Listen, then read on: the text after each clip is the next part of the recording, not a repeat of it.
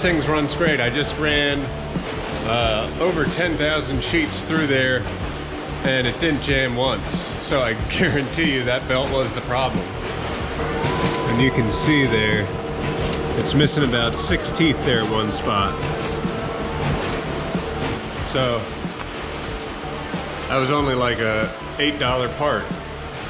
Easy to fix. So I wasn't 100% sure if that was gonna fix it, but obviously it did.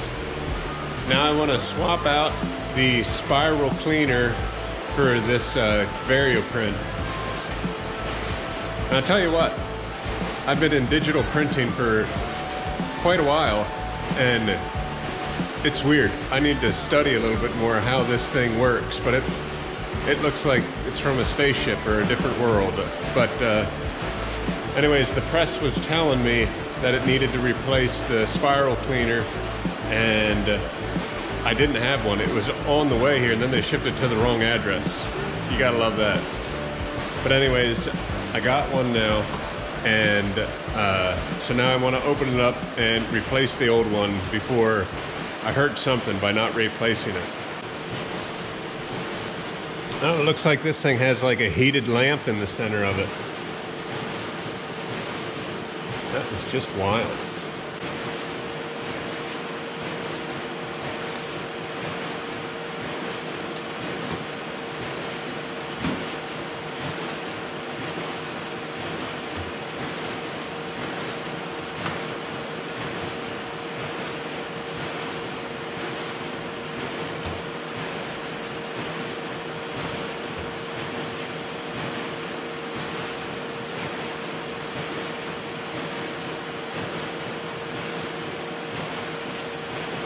Okay, this spiral roller is just right on top here.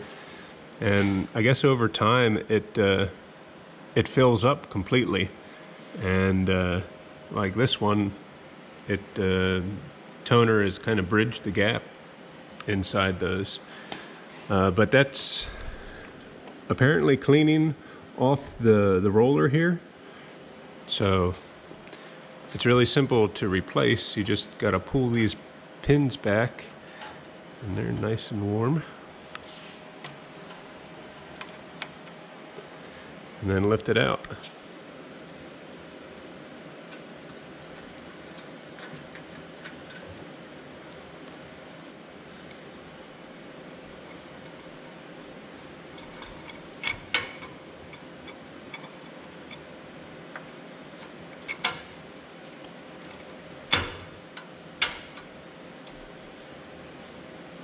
All right, good as new.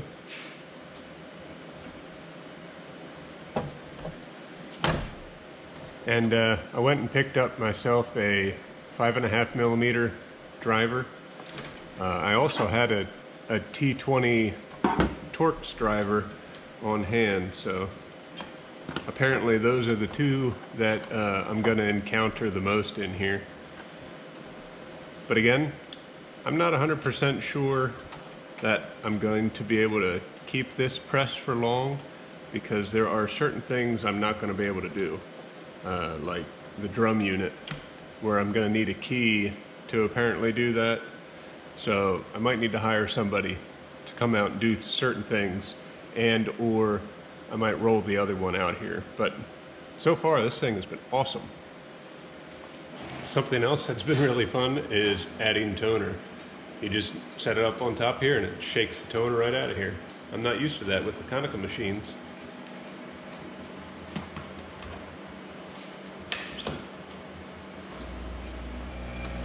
Just shakes it all out of there. And you can see it going down. Eventually, that uh, clicking and the vibrating will stop, but the reality is, is it empties pretty quick. And you just close that back up. Oh, I can still feel toner in there. Open it back up. It's a lot like the uh, 1200 that I have where it actually stores a lot of toner inside itself uh, and it tells you how, how much space is available in there and whether or not it's going to demand you put toner in it. It's pretty cool. It's been a long time since I ranted about paper So I think I'm gonna fix to do that here in the later part of this video because I'm starting to perf about 8,000 sheets of carbonless and I bought six cases of it back in January specifically for this job. And boy, I'm glad I did because you can't buy it now. And my wall of paper definitely looks different than it normally does. I have different brands than I typically buy, and when I do buy a paper, I buy three times as much as I typically buy. And I that's why I have a huge stack here and I have more in the warehouse just because I don't know when that's going to be available again. Boy, I wish I would have bought more gloss text weight. That stuff is tough to come by. I've been out of 80 and 100 pound gloss text for probably about a month now. And although I do see some stuff starting to trickle in, and I jumped on a little bit of it, but I should probably get more. I hate to be a naysayer, but I really don't see an end in sight anytime soon. Uh, the volume of paper at my supplier is always low, and I have created a a favorites list of about 20 stocks. Every day I just go in there and I check that list and see if we got inventory in some of the paper that I typically buy and I want to buy. Uh, and I do that just to check. But boy, two or three times already, I've had paper in my cart and somebody else bought it out from underneath me. So if you're around me and you did that, shame on you, but I'll forgive you. I'd have done the same thing. I'm also curious if anybody is considering how they're going to be quoting for print jobs with increased paper prices because the paper price, uh, the way I quote anyway, drives the profit margin. So if my paper price goes up by two, my profit margin is actually going to go up as well. And I'm just wondering, I need to think about it a little bit more if I want to lower that profit margin I'm not necessarily, I don't think I will, but uh, on some jobs I might actually, on jobs that I really want or larger volume jobs, uh, to try and make sure that I have the same profit I typically have gotten in the years past and I'm not too much profit because of increased paper prices. Another business ethics question is if I buy $10,000 worth of paper and I put it in my warehouse and uh, I did that, you know, six months ago, today that paper could be worth twice as much. So that might be $20,000 worth of paper. How are you going to sell it to your customer? I'm going to sell it at the current day price because that's what it's going to cost for me to replace that paper. And, uh, you know, that, that extra money is actually just going to cover warehousing and insurance and other stuff. So that's how I'm doing it.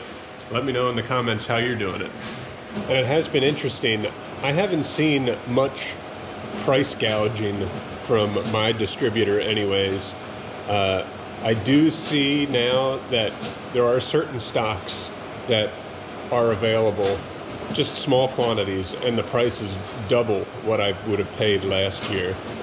And I'm assuming that's just a supply and demand thing. Um, but for the most part, when a paper comes in stock, uh, the price isn't too different here. Uh, it's just a little bit more but nothing that I'm that concerns me. It's the doubling of paper prices that that little that scares me a little bit. And some the way I look at it, somebody's just trying to make a buck there. I don't know if that's good or not. Oh well. Well,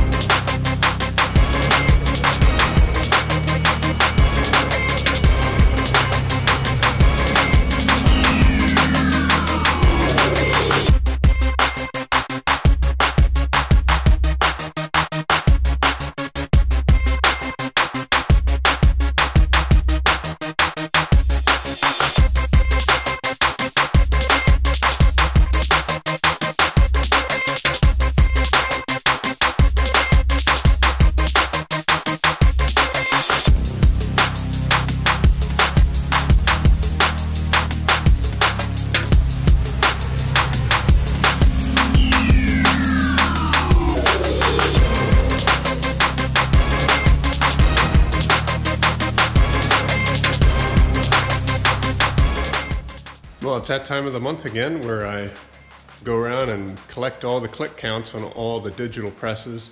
And this whole thing's nice. It's the most we ran it this past month. It was like 140,000 clicks, all 8.5 by 11.